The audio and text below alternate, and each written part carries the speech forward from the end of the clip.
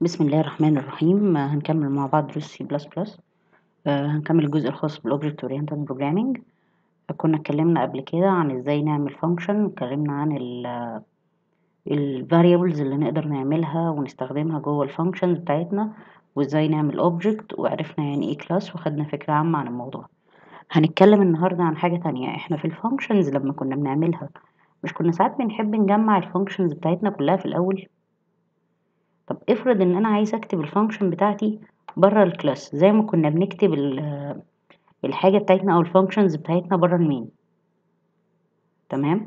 في الحالة دي أنا هحتاج أعمل إيه؟ أنا علشان أكتب ال functions بره ال main أنا محتاج إن أنا أعرفهم جوه الايه ال class نفسه. يعني هاجي هنا هعرف void set underscore data وادي قوسين وهقفل ب semi colon كده. ونفس القصة برضو هعرف ال function بتاعي show في الحالة دي أنا عشان حطيتهم هما الاتنين جوه ال class التعريف وال function نفسها فعمل لي error طب لو جيت أنا خدت الكلام ده كده cut تمام؟ وجيت حطيته هنا قبل ال class مثلا. أو بلاش قبل ال class. هاجي أحطه بعد ال class بتاعه لقينا name هنا طلع له error و name هنا طلع له error ليه؟ مش هو name دوت هو نفسه اللي جوه ال class بتاعي. ما أنا معرفه إن هو جوه ال class.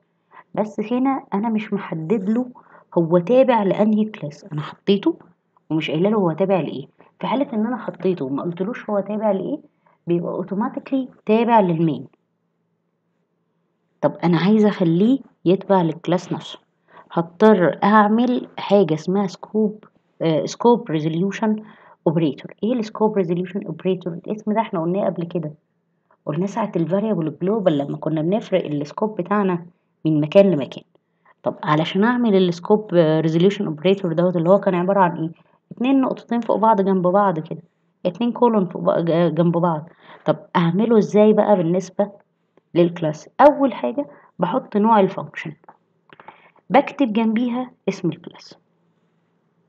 بعد كده بحط ال operator بتاعي وبعد كده بكتب اسم ال function نفس القصة هنا. هقول له void human نقطتين فوق بعض نقطتين فوق بعض show. في الحالة دي ال functions ديت لما أجي أستدعيها أو لما أجي أستعملها هيروح يبقى تبقى تابعة لمين؟ أو ال variables اللي جواها تابعة لمين؟ تابعة لل class بتاعها. تمام؟ طيب نجرب نشغل بالشكل ده. دي ال function اللي كنا عاملينها المرة اللي فاتت. أدي مروة طلع لي hi مروة. عمر طلع لي hi عمر. تمام؟ يبقى كده إحنا عرفنا لو عايزين نكتب function بره ال class هنحتاج إن إحنا نعمل إيه؟ أول حاجة محتاج أكتب جوه ال class declaration لل function تاني حاجة محتاج إن أنا أعمل للهيدر بتاع الكلاس بتاعي إن للفانكشن بتاعتي سوري الايه السكوب ال scope resolution operator اللي هو اللي هو السكوب ريزوليوشن اوبريتور اللي هو العلامة دي. طب علشان أكتبها صح بعمل إيه؟ بقول نوع ال return type بتاع ال function بعديها اسم ال class بتاعي بعديها ال operator بعديها اسم ال function اللي أنا عايزها بعدها ببدأ أكتب ال body بتاع ال function اللي أنا عايزه. تمام؟ أتمنى أكون أفدتكم في الدرس ده. والسلام عليكم ورحمة الله وبركاته.